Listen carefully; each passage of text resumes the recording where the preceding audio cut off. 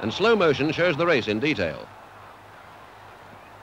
Strickland and Schoch are neck and neck with three hurdles to go, but Strickland, who'd started slowly, draws ahead for a very slight lead. Strickland hits the last hurdle and Schoch draws level, but Strickland wins in the sprint to the tape, and both girls register the same time, 11.6.